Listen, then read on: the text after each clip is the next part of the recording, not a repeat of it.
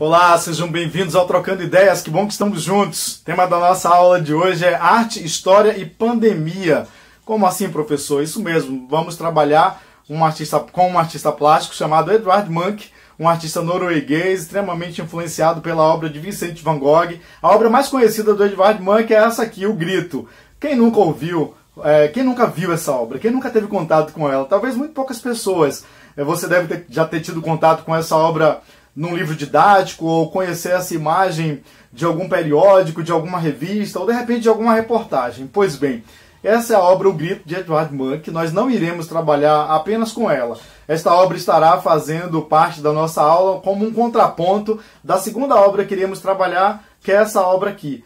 Essa obra pintada por Edward Munch durante uma pandemia. Ele pintou essa obra em meio a uma pandemia, a pandemia de 1918. Em 1918 nós tivemos a grande pandemia, a mãe de todas as pandemias, quando Edward Munch pinta depois da gripe espanhola. Isso mesmo. Em 1918 o mundo conheceu a terrível pandemia da gripe espanhola. Embora ela não tenha surgido na Espanha, mas ficou conhecida exatamente por quê?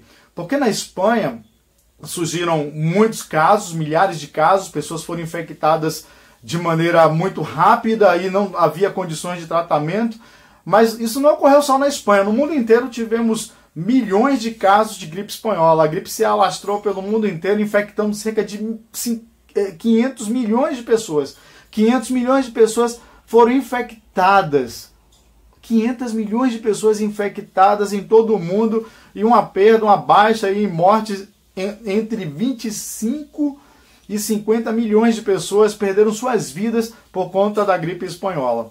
Embora ela não tenha surgido na Espanha, e é preciso que a gente tenha um entendimento de por que, que ela não surgiu na Espanha, mas leva o nome de gripe espanhola. A gripe espanhola foi uma variação do vírus H1N1, esse vírus bastante conhecido da gente, que a gente toma as vacinas todos os anos. Pois bem, houve uma mutação, uma variação desse vírus, uma mutação aleatória, e ele se transformou nessa doença mortal. Acontece que o mundo estava vivendo em guerra. Em 1918, nós estávamos aí no final da Primeira Guerra Mundial, que começou em 1914 e vai até 1918. Ou seja, um, um, um período extremamente complicado em que favoreceu a, a proliferação de doenças. A gripe espanhola ela surge, alguns historiadores acreditam, alguns estudos historiográficos apontam três possibilidades de origem da gripe espanhola: Reino Unido, China ou Estados Unidos. Mas a teoria mais aceita é que tenha surgido no Kansas, nos Estados Unidos, numa base militar. Embora houvesse casos de infectados em Detroit também, em 1918. De março a 1918 até dezembro de 1920, a pandemia estava acontecendo em todo o mundo. Ela veio em três ondas. A primeira onda foi muito efetiva e muito grave em idosos e crianças, e a, a, segunda grande onda afetou, pegou em cheio os jovens. Soldados na guerra estavam ali nos frontes de batalha e foram é, é, é infectados e morreram a, a, aos milhares. Acontece que nenhum país do mundo queria ver o seu nome ligado a essas baixas. Então a imprensa do mundo inteiro dos países que estavam envolvidos na guerra era censurada e ninguém divulgava ah, o que estava acontecendo. Na Espanha, isso foi possível porque a Espanha não se envolveu diretamente com a guerra, então ela estava, num, de certa forma, a, a dentro de uma neutralidade, o que foi possível é, divulgar as informações. Quando as informações chegavam é, da Espanha com essa quantidade de mortes, hospitais de campanha, tudo que a gente vê numa grande pandemia, é, muita gente é, é, infectada e sem que o governo pudesse dar conta de administrar essa situação, as informações chegaram ao resto do mundo e a doença ficou conhecida como gripe espanhola. Aqui no Brasil, nós sofremos bastante com a gripe espanhola. Estima-se que aqui tenham morrido 35 milhões de, ou melhor, 35 mil pessoas morreram é, vítimas da gripe espanhola. No início, é, foi como aconteceu com a Covid-19, com o coronavírus. Não se acreditava que a gripe chegaria ao Brasil, as pessoas estavam levando suas vidas aqui dentro da normalidade, indo à praia, discutindo, é, se reunindo, trabalhando normalmente. Acontece que em 1918, no mês de setembro, aportou aqui em Salvador, em Recife e no Rio de Janeiro um navio inglês que havia passado por Lisboa o navio Demerara. Esse navio trouxe é, pessoas ah, que estavam na guerra, combatentes que estavam na guerra, é, militares e a, a, logo após algumas semanas já tínhamos muita gente sendo infectada. O fato é que de setembro a novembro de, 2000, de 1918 nós tivemos um pico crescente da doença que se espalhou rapidamente pelas principais capitais do país, sendo que Rio e São Paulo foi o seu epicentro, tendo maior quantidade de mortes, um número absurdo de mortes. Não tinha como enterrar os mortos. O Rio de Janeiro não tinha hospital para dar conta, não havia SUS, Sistema Único de Saúde, não havia nenhum sistema público de saúde que, que atendesse a maioria à saúde era algo privado de difícil acesso nessa época. O fato é que toda a vida foi comprometida, toda a vida social acabou sendo comprometida e as pessoas não tinham de enterrar os seus mortos, colocavam nas portas das casas e para que o poder público, quando tivesse oportunidade, é, recolhesse esses corpos e fizesse o devido sepultamento. Em meio a toda essa pandemia que atingiu o Brasil em cheio, aqui em 1918, nós tivemos a morte do presidente Rodrigues Alves, que foi acometido pela doença. Ele era o presidente eleito em, 2018, em 1918 e não chegou a tomar posse porque foi acometido por essa doença terrível e veio a falecer.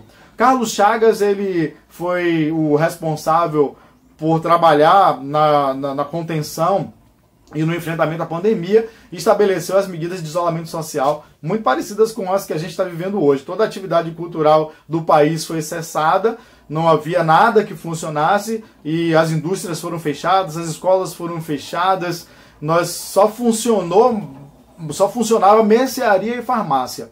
Então, essa foi a realidade tão terrível em que o mundo estava passando e em meio a essa pandemia, a obra de Edvard Munch é a obra que estaremos analisando, ela foi pintada. Uma obra de características expressionistas, essa obra se encaixa dentro do expressionismo. O expressionismo foi um movimento, uma corrente das artes visuais, mas que ela aconteceu na, em todo o campo artístico moderno, nas correntes conhecidas como é, movimentos de vanguarda da, da arte é, moderna, esses movimentos de vanguarda da arte moderna, estão conhecidos como movimento de vanguarda da arte moderna. Essa corrente expressionista, ela tinha como principal característica a deformação. O homem moderno, o homem expressionista, ou o homem é, que, que estava vivendo dentro desse contexto, tinha suas angústias, as suas preocupações é, em meio a uma guerra, em meio a pandemias, em meio a doenças, em meio a avanços tecnológicos, em meio a toda a tragédia humana e existencial que estávamos vivendo, haviam demandas que precisavam ser expressas nas artes visuais e que não a forma acadêmica, a forma tradicional de se produzir arte não dava mais conta. Então, esses movimentos eles foram marcados pela ruptura com estruturas tradicionais, com padrões tradicionais. Então, o que, que percebemos na, nessa pintura expressionista? Nós percebemos traços firmes, nós percebemos também a deformação da, da, da, da própria estrutura é, da realidade que está sendo apresentada ali. Não há um compromisso em representar a realidade como ela é. Exatamente porque a realidade ela, ela está deformada, ela está é, caracterizada por uma série de angústias. Na obra O Grito, de Edward Munch, nós percebemos claramente toda essa deformação. É uma figura andrógena, é uma figura que está ali envolvida num ambiente sombrio, de medo, de pavor, de pânico. E essa obra ela transmite para a gente toda uma, uma carga de emoção que é muito característico do movimento expressionista, é levantar e trazer a emoção do momento em que o artista está passando, está tentando representar. O contraponto é a obra Depois da Gripe Espanhola, essa obra que nós é, estaremos analisando, é, que escolhemos para essa análise, é uma obra em que ele pintou em meio à pandemia. Edward Munch foi acometido pela gripe espanhola e ele registra esse momento em que ele está se recuperando ali no quarto dele, convalescente, isolado socialmente, e ele está ali numa postura serena, numa postura mais que, ao mesmo tempo, é contrastada pela velocidade com que a pintura ela é realizada, pelos traços é, deformados, pela, pelo movimento presente nas linhas e pela intensidade das cores. Comparando as duas obras, o Grito com a a obra depois da gripe espanhola, nós percebemos algumas semelhanças de estilo e percebemos também uma semelhança no rosto. O rosto do artista é representado de uma maneira muito semelhante à figura ali, ao personagem de O Grito. Então, de repente, teria sido um autorretrato do artista, ele estaria se autorretratando na obra O Grito,